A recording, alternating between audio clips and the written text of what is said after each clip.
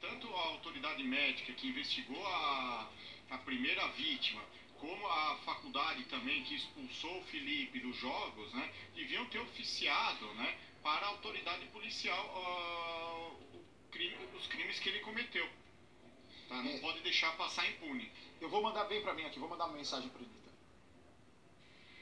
Anitta, Anitta, minha amiga, é o Bate que está falando.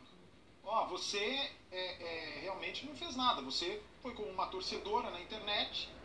Eu acho que você se posicionou sobre o pior. Estou aqui no Cidade Alerta mostrando esse caso. Acho que as pessoas que estão te criticando, é, é, isso é injusto, porque você deu a sua opinião.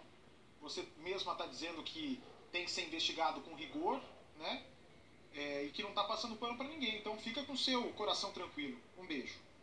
Mandei aqui a mensagem para Anitta. Anitta que eu conheço inclusive há muitos anos, antes dela fazer sucesso. Deixa eu ver aqui.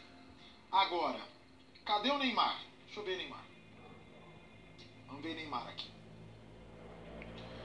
Neymar.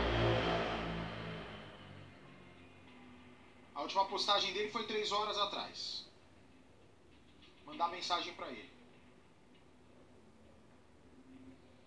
Neymar, tudo bem? É o Bate do Cidade Alerta.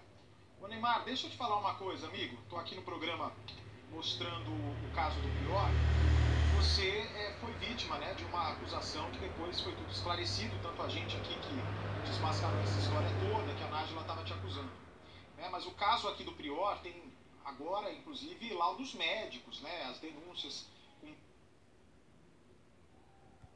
Eu acho que você deve